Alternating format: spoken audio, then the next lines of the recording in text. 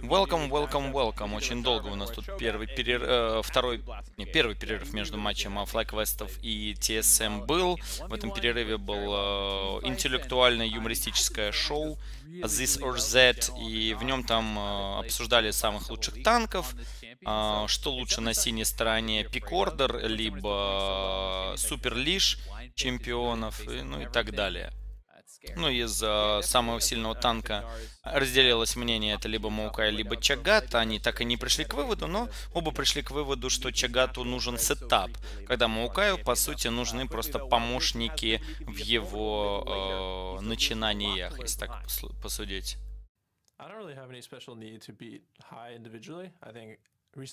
Есть нормальный саб в чате для дуоку. Лазанья фанбой спрашивает. О, Бьерксон. Map calls where uh, FlyQuest are able to make some plays, some kind of chaotic plays or plays that you don't expect that uh, net them a lot of gold advantages. So I want to try to be able to kind of anticipate Heist plays, not focus on beating him in lane or anything like that. О как. Берсин говорит, что главная проблема против команды FlyQuest у многих команд возникает в том, что FlyQuest принимают решения, которые бы никогда вы не приняли решения. Попросту шатколы от команды FlyQuest идут э, против всякой логики, и они ну, за счет этого очень часто выигрывают много по золоту, обменивая то, что вы бы никогда не пошли обменивать. И Берсин говорит, что для него главная цель в этом матчапе а, против Хая не победить Хая один на один на меде, а предугадать как будет мыслить Хай и как будет мыслить вся команда FlyQuest. Ну а статистику между этими командами вы видите. 10-4 а, у команды TSM, 4-10 у FlyQuest. Мы, когда первую игру запустили, я вам быстренько статистику показал. FlyQuest, по сути, одна игра их отделяет от вылета из плей-оффа. А, если они сейчас проигрывают игру команде TSM, эту либо следующую, они больше не попадают в плей-офф ни при каких обстоятельствах, но все еще могут побороться за то, чтобы остаться в сезоне. А если мы зайдем дальше глубоко в статистику, если я правильно помню, у флайквестов есть очки, да, у них 30 очков на самом деле, ребят. Гипотетически они могут еще попасть в Гаунтлет. А что нужно, чтобы попасть в Гаунтлет? Смотрите, какая ситуация. А, есть три команды над ними по очкам. Три команды над ними по очкам. Это Cloud9, это TSM. Cloud9 и TSM попадут в плей-офф. Ну, скорее всего, очень э, маловероятно, что э, Cloud9 не попадут. TSM уже попали в плей-офф. Значит, они уже как минимум 20 очков заработают. Тут вопрос о том, сколько очков они еще больше наберут.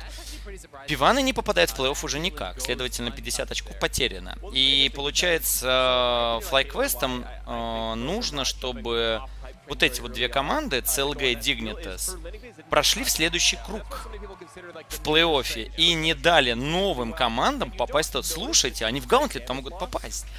Я сейчас вместе с вами считаю. Смотрите, какая ситуация. В Гаунтлете будут участвовать три команды. Это будут э, либо Cloud9, либо TSM. А, не, не получается. Фак. Не получается. Видите, это будет либо Cloud9, либо TSM, одна отсюда.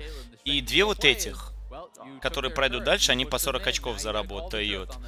А проблема FlyQuest, что у них только 30 очков. И новые команды, которые попадут в плей-офф, если они пройдут первый круг, они автоматически перегонят. FlyQuest'ам нужно, чтобы какая-то из этих команд тоже не попала в плей-офф. Либо если попала, то вылетела в первом круге, но вылетела от Cloud9, либо TSM. Таким образом, не дав новой команде, попавшей в плей-офф, пройти дальше по очкам. Вы поняли, о чем я говорю?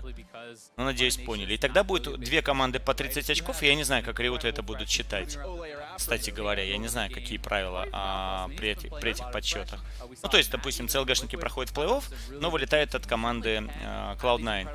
У CLG будет 10 плюс 20, 30 очков, у FlyQuest тоже будет 30 очков.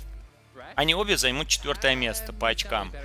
А в, в этом а, в Гаунтлете играет а, по очкам команда номер 2, 3 и 4. А так как у, нас будет две команды по 4, а, по 30 очков на четвертом месте, я не знаю, кто будет тогда играть. Наверное, та, которая выше заняла в Саммер Сплите место. Ну тогда у них шансов нету. Надо это в правилах будет посмотреть. Я сейчас, надеюсь, вам экран показывал, потому что вот так много обсуждал, и все. А, вы тут могли ничего не видеть. Не, вроде бы картинку показывал. Так, у, тут у нас Зак остался открытым. Свинскерин его тут же себе забрал, и к этому Заку был добавлен еще один э, подкидыватель это Браум. Плюс Кейтлин еще осталось для дабллифта. Что-то как-то TSM вообще получили, по-моему, все, что хотели. Еще и Байфрост нам показывает э, Барда, который не самый худший чемпион с Кейтлин. И он очень хорош против Джина. Ну, потому что может джиновскую ульту отменять. Но подумали-подумали TSM и решили, что Браум у нас уже есть, нам его достаточно будет, никаких бардов мы брать не будем. Ну, я просто так, ради фана вам рассказывал, что бард хороший, это не означает, что его брали бы. Шен будет у нас на от Хаузера на топе, Сенскерин будет играть у нас на Заке, Бьорксон на Синдре свой любимый, Кейтлин от Дабллифта и Браум от Бая Фроста. Команда FlyQuest добирает Рингара как последним пиком. А, Чагат с Ренгаром и Арианой. Ну, стандартная комба Ренгар плюс э, Ариана. Чагат это будет вместе с Трэшом единственными танками.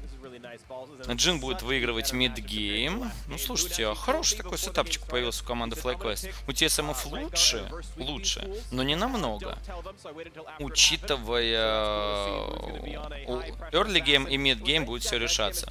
Если не сможет э, пауэрспайкнуться Ренгар, быстро добраться до своих предметов, и он будет двигаться вровень с э, продвижением по золоту Зака, то, конечно, у FlyQuest все плохо, потому что они, э, ну, тупо упрутся в ту ситуацию, где у Ренгара не будет ни зубов, э, ничего.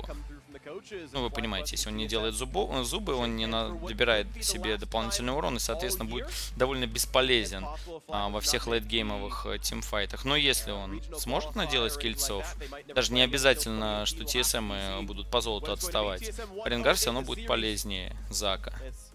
Особенно нынешний Ренгар, который играет в Леталити.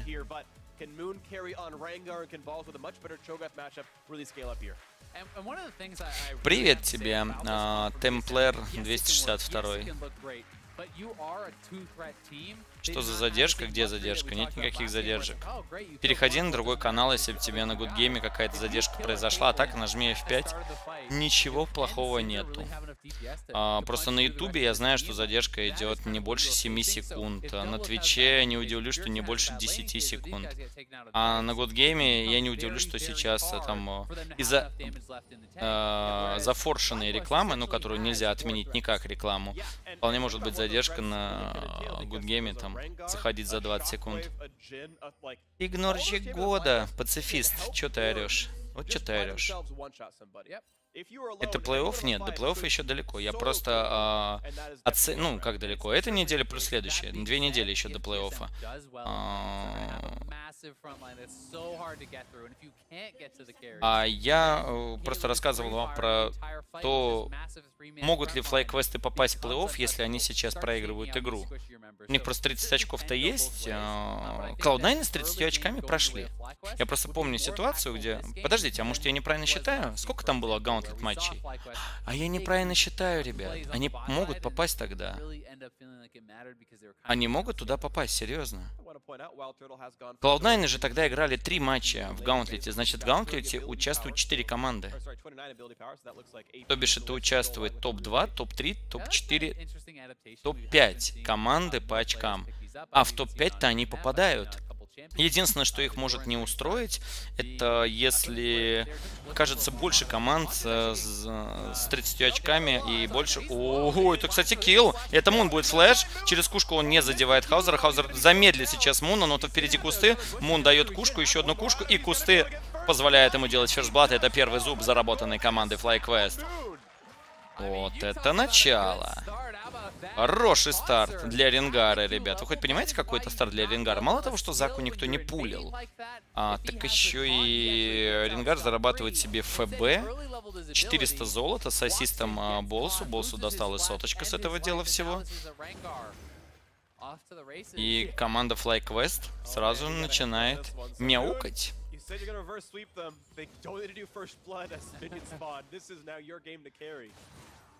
Ну, а что у нас на боте? На боте пока все по стандарту. Запушили очень быстро флайквесты. Через Даран Ринг играет Wild Turtle, как правильно, и играется Джин в нынешнем мете. Сегодня мы просто несколько джинов видели, и я удивлялся, почему в Европе их играют зачем-то с ботинками до сих пор и тремя хилками. Хилки которые печеньки, они как бы ману тоже восстанавливают, но все же ботинки не особо помогали. У нас будет на боте gank? Нет, это просто очень хорошая цепка по тортлу, но Лемонэшн дал в ответ E-шку и остановил. Hook, кстати, идет по дабллифта, очень дабллифта сильно поддамаживает Wild Turtle, и тортл прожимает heal.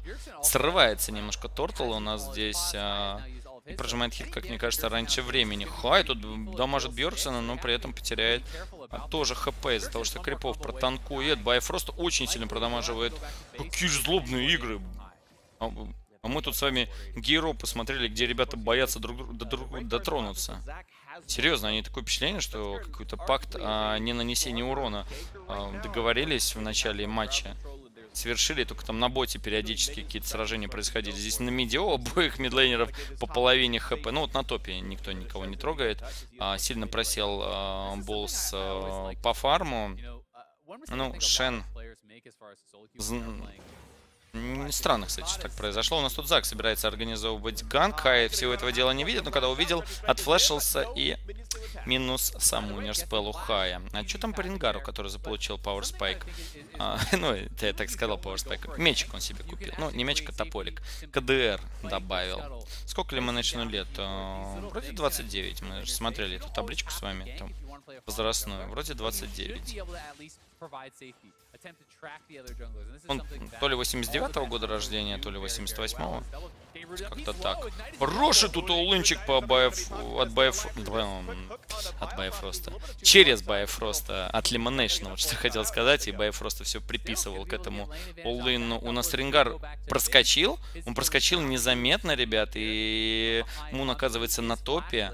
А, ждут они, когда taunt прожмет Хаузер. Хаузер догадывается, что что-то здесь не так, кидает по нему Q-шку Болс, но у Болса не хватает маны. Taunt прописывает Хаузер, пытается убить, но не тут-то было. Ренгар зарабатывает еще один kill на этом Шене. Шен становится 0-2 и тут же закупается по максимуму, но у него нет телепорта, поэтому потеряет огромное стадо крипов на топ-лейне.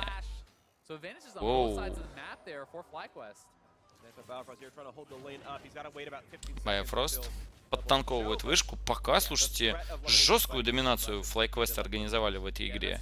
А, late game с командой TSM, это я уже сказал, но там не сильно а, будет у них преимущество. Где-то 60 на 40, и то это только из-за того, что у них сочетание а, 3 танка, 2 carry. Причем это carry не худшие. Ну вот проблема начинается у Хая, но там рядом фонарик, на который а, ну, просто Лемон кинул как щиток его, ну и Хай мог на него нажать в любой момент, но Хай решил, что не стоит. Просто щиток есть и уже хорошо хорошо. Оренгар Жизака в лесу победит? А, теоретически да. А, но проблема тут в другом.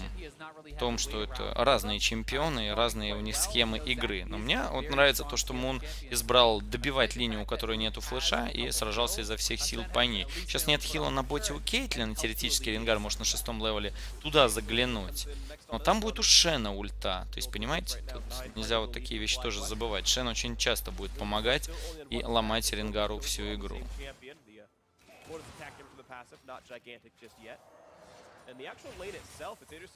Хорошо, тут прокасик опять по Байфросту прошел.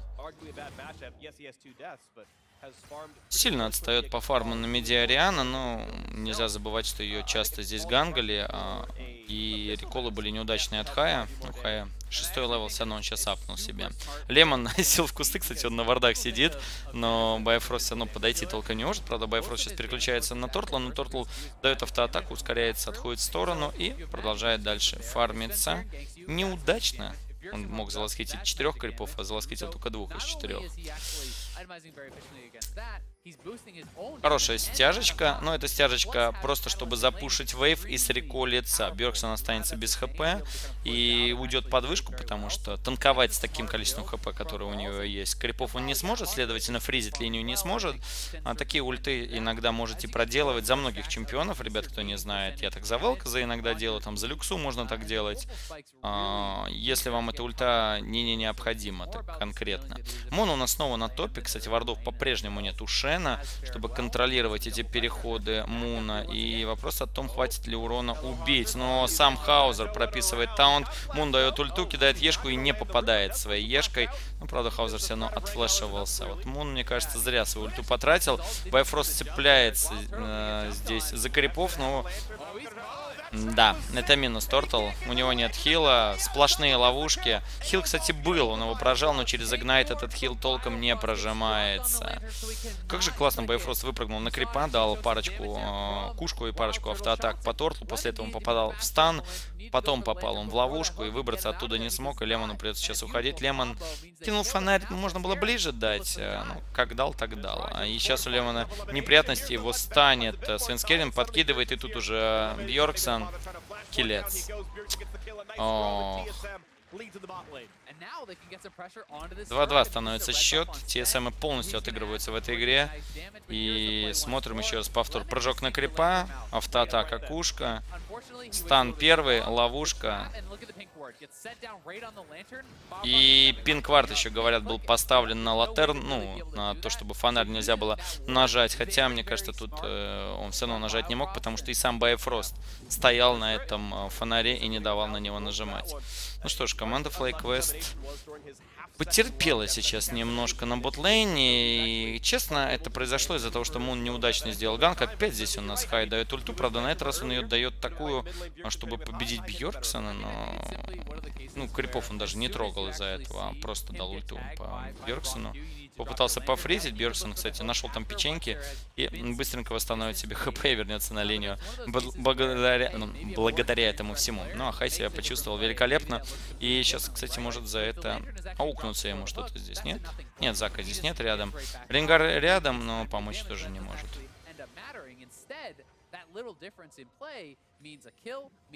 Ловушки, фонарь, это так подло, да? Это на самом деле действительно классно. Ну, Кейтлин э, дико хорошо играет вот с такими чемпионами, которые могут прописать стан. Это Зайра, это Трэш, это Браум. Табличку можете посмотреть, там есть. Это тот же самый, э, его зовут, Барт, а, про него я тоже говорил. То есть все эти чемпионы могут прописать стан на какое-то время издалека, и Кейтлин может сразу же ловушку давать вам под ноги. И получается чейн ЦЦ. Хоть ловушка и делает рут, вы автоатачить все равно можете, но двигаться вы никуда э, не можете с этой точки, и получается, что, по сути, вы сидите в этом стане очень долго. Вышка на топе была сломлена, да, но пока, пока никак. Шена больше не убить. Рингар продолжает туда ходить, может быть, пора как-то Рингару начать организовывать что-то на боте, может быть, даже организовывать что-то на меде, ведь, если так посудить, Бьорксон уже два раза подставился под ультухая, просто так. Кстати, кто не в курсе, у Хая помимо Корки, которым э, хвастались э, Риуты, говоря, что один из лучших по статистике у Хая Корки получился в прошлом сплите, у Хая есть еще великолепная Ариана, на которой у него огромное количество, количество пент. Плюс Ариана игралась не только в этом сезоне, а она игралась и раньше Хаем на медиа, когда он еще играл в команде Cloud9, поэтому практики на этом чемпионе у него навалом. И Ариана его, он знает ей, что делать и когда делать. Да, еще автоатаки. Опа. Хаузер попадется под муном, он дает по нему прокасты, пол лица ему сносит, кидает ешку и подумывает, впрыгивает или нет. Впрыгивает, и Хаузер вынужден будет сейчас на таунте уходить, Мун дает ульту. Это минус Хаузер, ребят, ему никто не поможет. И шикарный килл, один соло-килл от Муна. Жаль, что это все один зуб, ребят, до сих пор. Шен по-прежнему не стоит зубов, а его как в начале игры убил Ренгар, урон он себе не увеличивает, но деньги зарабатывает. Шен, по-моему, сейчас 263 золота отдал ему за это. А, плюс опыт. Не самый высокий, но все же опыт. А не, опыт он ему толком вообще не дал. Там же седьмой level против восьмого. Я думал, они одинакового левела были, не.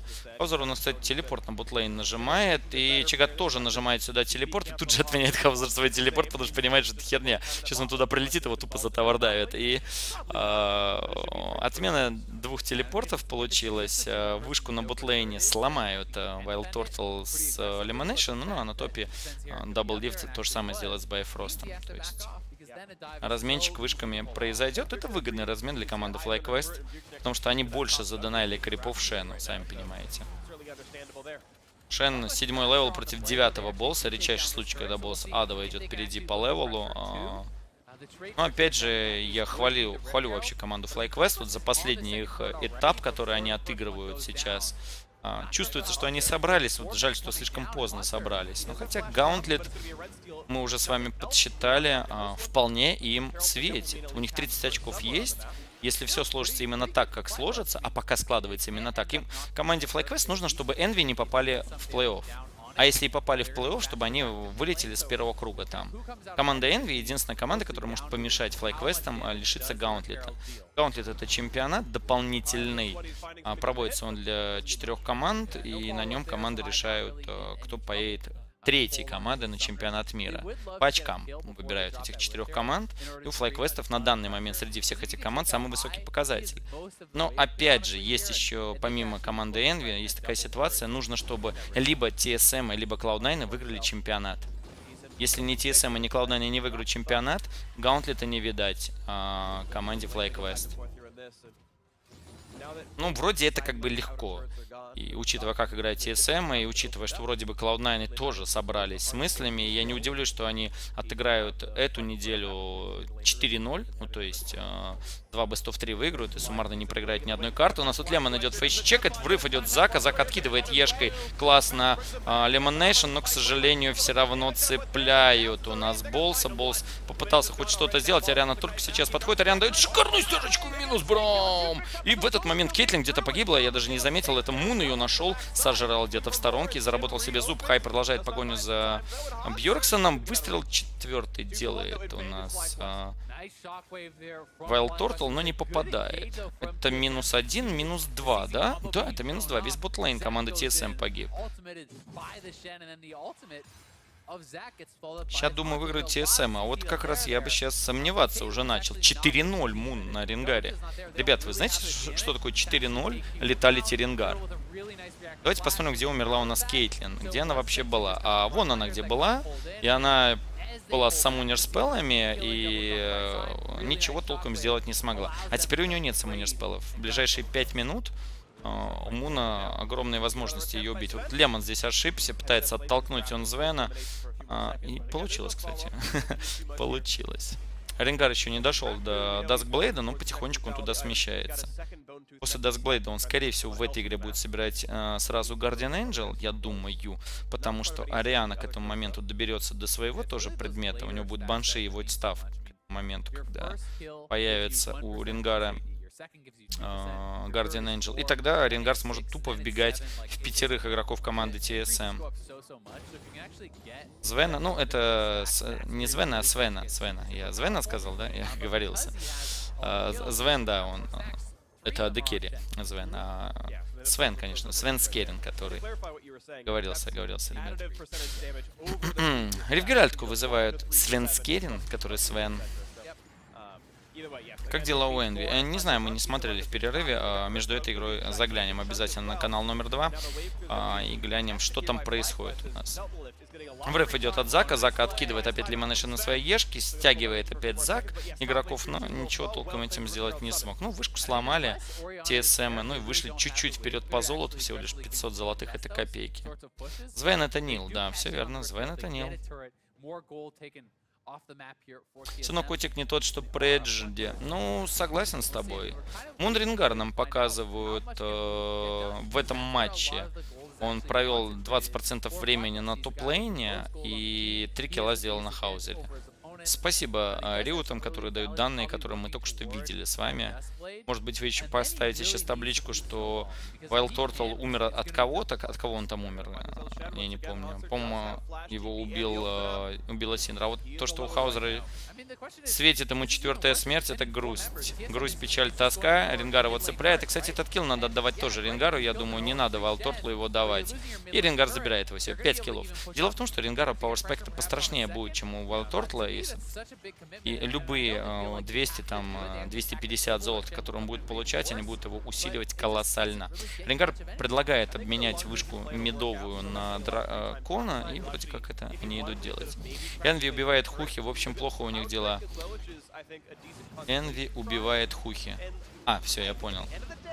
Просто это сообщение Энви убивает Хухи, можно прочитать как, э, что Хухи э, всех выигрывает, а можно прочитать как наоборот, что Энви убивает по КД Хухи и у команды CLG все плохо. Хухи, кстати, тоже э, усилил свою игру, у него появилась еще один чемпион, на котором он тащит, ребят. Тот самый Хухи, которого мы с вами помним на Аурелиан Соли и помним на Велказе, добавил еще себе Синдру. И реально Синдра у него сейчас опасная. То бишь, как бы перед чемпионатом мира американцы редчайший такой вот сезон, когда американцы выглядят намного сильнее европейцев. Сегодня мы смотрели Unicorns of Love, потенциальную команду, которая поедет на чемпионат мира. Она еле-еле мистер Манки победили, э, какая-то бездарная игра была. Хаузер, увидев все это, говорит, и нет, я лендорангом не стану в этом матче. И сразу же флеш нажал через стенку. Наплевать, у него там э, был таунт, но он говорит, к черту, к черту, просто флеш, просто болить отсюда, болить и все. Если погонится за мной, у меня еще таунт останется. Лендорангом я не буду. Сэнвин играет вторую игру на талии. Ну, вот видите, а, даже талию показывает. Нам, ну, он талию до этого показывал, правда, она была не самая лучшая у него. Но если ЦЛГшники побеждают, то это хорошо, учитывая, что они потеряли Дардоша. И мы увидим сегодня Дардоша, как он будет выглядеть а, в составе команды Team Liquid. Дело в том, что Cloud9 нам сегодня играть против Team Liquid, и Дардош ушел именно туда. Но об этом мы поговорим в той встрече. Ну а сначала давайте досмотрим, что же здесь. Здесь пока все хорошо. Duskblade появился уже у Рингара, и пока все хорошо для команды FlyQuest. Когда какой-то мужик показывает талию, беги. Когда талию показывает он два матча подряд, хухи. Ух. Что с лесником Тим? Э, Ликрит? Тим Ликрит решили, что их лесник не очень. Тим Ликрит. Она ликвид, типа жидкая. Жидкая команда. А то у тебя команда Ликрита. А Ликрит, наверное, сейчас такой присяду, думает, о, у меня есть своя команда в Америке, неплохо, неплохо. А, ну, заменили его. Ну, Дардош, что по механике явно посильнее будет всех. Ну, поговорим, я говорю об этом чуть позже. Ариан отпушивает милейн постоянно, но в этот раз ей придется отфлешиваться. Фонарь был кинут не туда, куда хотелось бы. Хаю придется давать сейчас ульту по ходу под танком, но не успевает ее нажать. Нажимает таки, но слишком мало урона. А, прилетает сюда Мун, прилетает сюда Болс. Болс сражается, но не очень удачно. Мун все выбирает, с кого бы сорвать здесь куш. И пока не получается, Хаузер ловит. Шикарный таунт идет, но погибает Браум. И в этот момент Зак делает шикарное подкидывание по двум игрокам команды FlyQuest. Они отфлешиваются. Минус 3 за одного лишь саппорта. Так разменялась команда FlyQuest. И мне кажется, Хаю надо было раньше нажимать ульту, а не дожидаться, пока прилетит Шен. Хаузер нажимает телепорт на вышку снизу. Это настолько редкий случай, который мы могли бы увидеть, Хаузер наконец-то что-то сделал. Он получил два ассиста в этом тимфайте, если не три. По-моему, три даже ассиста получил. Как думаешь, как быстро Ургот на просцене появится? Думаю, в первый же день. Если его сами риуты не выключат, потому что парень а именно чемпион Ургот уж слишком сильный получился у них. 7-15 это просто какая-то машина для убийства. И он по всем показателям подходит. Не обговорили здесь Хай с Лимонейшном, что они будут делать. Один кинул фонарь, второй потратил флеш, и потом Хай очень долго с ультой своей тянул. Когда он ее дал, уже, по сути, команда проиграла сражение.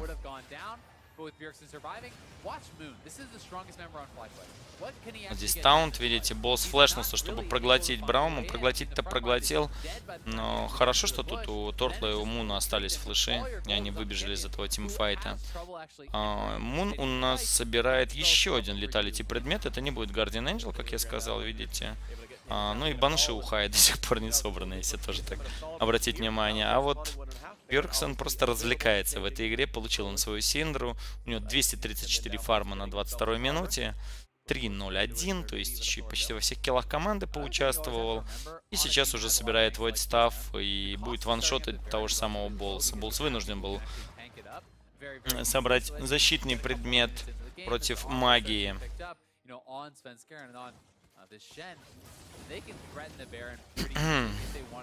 2-1 был, кто 2-1 был? Кто-то был 2-1, ребят. А, 6-7 у нас счет зато в этой игре сейчас. Ну, вышку начали ломать здесь команде TSM FlyQuest. Мун рядом. Мун выискивает, конечно же, слабых игроков, которые будут э, зазевываться у команды TSM, оказываться в одиночестве. И тогда Мун попытается их ваншотнуть. Благо у него это точно получится. Но найти таких игроков крайне тяжело, потому что TSM только Зак отходит сейчас на боковые линии, видите, чтобы делать влет издалека.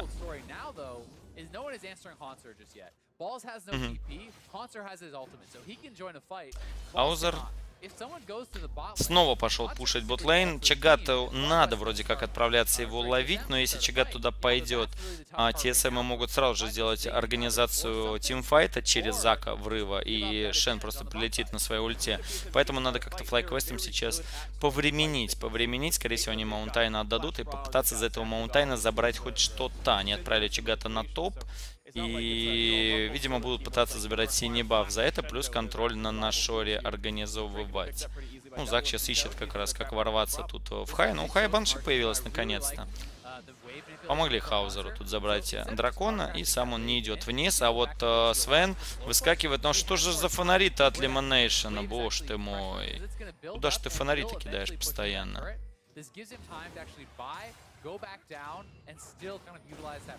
Ургот очень сильный, я полностью с вами согласен. Если правильный build делать, а игроки довольно быстро поняли, как делать правильный build, играя через CDR и тонну HP, максится W а, с последующим максом кушки, ну, либо Ешки, тут в зависимости от того, против кого вы играете. Если играете против а, милишника, то лучше кушку, если играете против рейнджевиков, то лучше Ешку, чтобы чаще можно было прыгать. А, ох, какой тут попытка у нас от Свинскерина была, но не очень удачная стяжечка идет от Хайл, ловит у нас здесь а, Болса. Болса, правда, может на фонаре уйти, в него впрыгивает дальше Шен, прописывает таунт, но не попадает. Мун все это время находится в инвизе, он не знает, впрыгнуть или нет. Хаузера убивает команда FlyQuest и влетает Мун, пытается убить дабллифта, не получается, и дабллифт делает на нем kill вместе с Бьорксоном. По-моему, это была грубейшая ошибка сейчас от команды FlyQuest ворваться 1 в 4. А, но да, но это сейчас будет им стоить игры, мне кажется. Хотя нет, смотрите, Зака они успели убить, правда он перед этим э, успел застанить Бьорк, э, для Бьорксона игроков, и Лемон отфлешивается, но еще один стан прописывает Бьорксон, и Зак, так как жив, предлагает э, TSM просто пойти на Нашора. Грубейшая ошибка от Муна была. Э, я его прекрасно понимаю, то есть он не мог найти себя, вот как ворваться в этом файте. Он долго-долго-долго вот думал, вот ворваться, не ворваться, ворваться, не ворваться. И потом, когда он впрыгнул, а Болс не мог подойти, Лемон не мог подойти нормально. И просто взял и умер. Зонищие фонари. Да, у нас тут, кстати, Болс прилетел мешать всему этому процессу забирания на шора, но процесс сработал. Зак дает подкидывание по двум игрокам. Ну и, по-моему, это конец игры, ребят. Полз сейчас умрет, ему отсюда не убежать уже никак. Замедляет, Зак дает подкидывание, зарабатывает денежки, собирает свои плюшки. 9-8 и с нашором команда TSM теперь любую может в сторону идти давить. Мун хоть и заработал себе 5 киллов, но выкидыш был именно его, собственный. Ведь если так задуматься, они убили Шена. Они забрали у Шена ульту, и спокойно могли попытаться сломать мид потихонечку, когда подошел Тортл Б. Ну вот зачем здесь было Муну влетать? Он просто впрыгнул 1 в 4 и сразу же получил экзост, сразу же его стан прописывает э, Байфрост, и Кейтлин дает хил, остается в живых, ну а Бьерсон дает свою ульту и минус Ренгард за секунду. То есть все просто ждали врыв э, Ренгара. Ну, а здесь, видите, Зак перед своей смертью успел стянуть двух игроков, через чего и команда FlyQuest проиграла. Ну, это ошибка. Ну, ты же это и сам знал, только верил в чудеса. Ну, да, в некотором роде так и есть. Я предполагал, что будет 2-0, но надеялся все же, что Ренгар сможет перетянуть идеалы на себя в этом матче. Мне еще не совсем нравится Болса выбор. Он э, избрал э, адаптивную маску. Или это Abyssal? Подождите. Я все забываю, как выглядит что. А, там же Abyssal маска тоже как маска выглядит. Адаптивный шлем тут. Опа, извините, здесь у нас Shockwave по двум керри команды TSM. Зак, правда, вкидывает Чагата во всю свою команду, и Чагат погибает, не успев нажав, нажать даже толком кнопку. Он дал кус, по-моему, по Свенскерину. А где все это время? Вот сейчас, где был Ренгар? Представляете, под этот Shockwave бы оказался Ренгар рядом. Вот и я о том же. Его здесь не оказалось, и теперь Чигату тупо не дадут возможность э, убить уже Бьорксона. Стан прописывает по бедному Хаю. Хай погибает. Мун так и не нажал ульту, просто бегает и смотрит на то, как его команда под осадой оказывается в осаде. Рингар, ну, обычно не боец. Ну, так в этой игре и есть. Нету все еще э, возможности как-то ворваться у Рингара. Хороший хук, но тут же прописывают стамп но тонна по нему прокастов идет. Рингар вроде нажал ульту. Нет, нет, не нажал. Просто бегает, передвигается команда TSM гигантскому паку на топе крипов. Его никто не пошел отпушивать команды FlyQuest изначально. И они сломали не только один ингибитор на ботлейне за счет убийства Ариана, но еще и ингибитор на топ-лейне. Что было в первой игре? В первой игре был полный посос э, на протяжении всей игры. Там где-то, я так понял, на 7-8 минуте произошло сражение, после которого начался сноубол. В этом матче, ну, все довольно ровненько шло до 23 минуты. Вот здесь бы был Ренгар сейчас, да, ребят? Он вроде бы здесь был, но он не нашел себя, опять же. То есть хай сделан. Это Abyssal мне подсказывает. Ну, я просто реально надо пособирать несколько раз эти предметы, чтобы понимать. Ну, тогда вообще. Адаптивный шлем я ставлю плюсик адаптивному шлему. А вот Abyssal я ставлю минус. А, на Чигате он вообще не должен быть никогда. Ну, ладно, насчет никогда это я загнул. Там все же усиление твоей ульты на 10% это нормальная тема. Но явно не первым предметом. Ну, у него не первым, а вторым особо.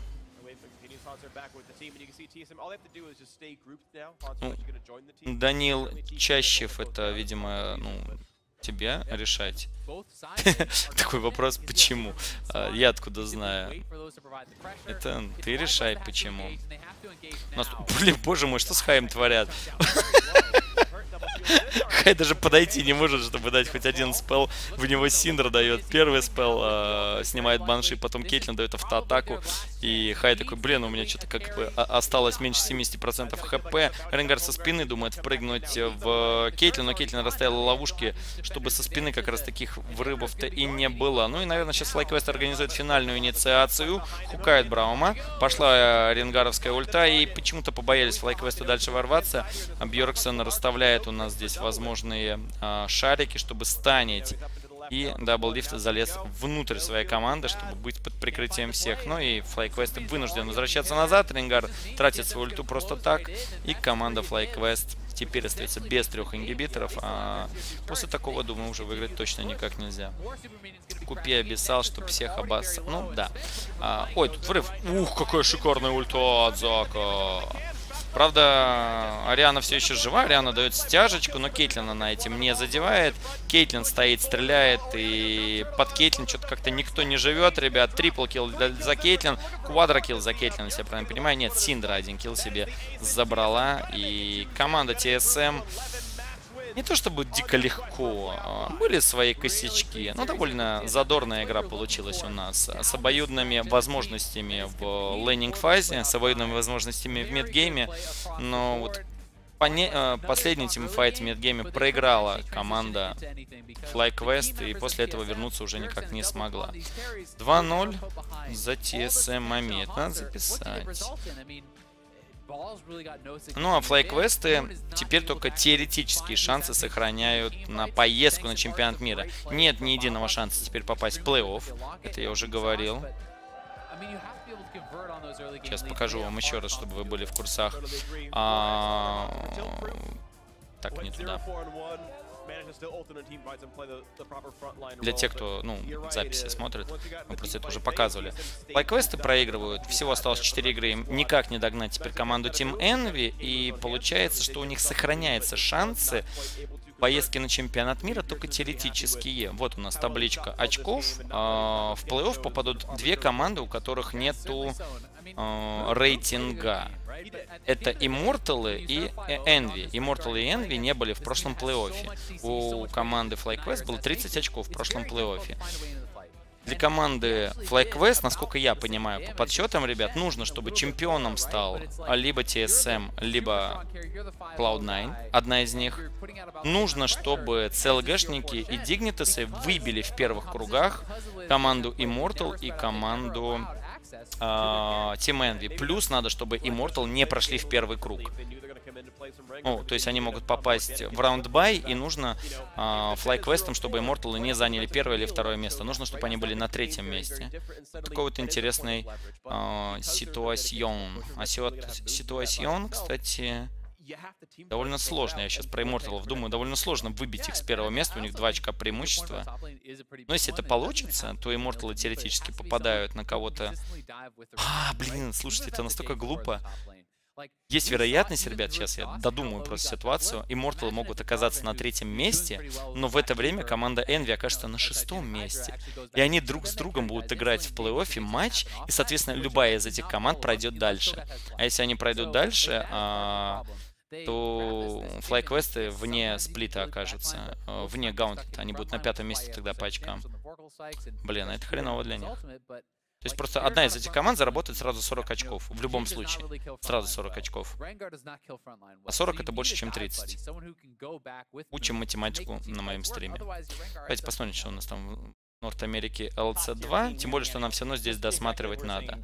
А, CLG победили, я так понимаю, это 2-0 сделали счет. CLG-шники Энвиков победили 2-0. Раз так произошло, то CLG-шники с TSM сохраняют пока по 11 очков, продолжают борьбу за первое и второе место.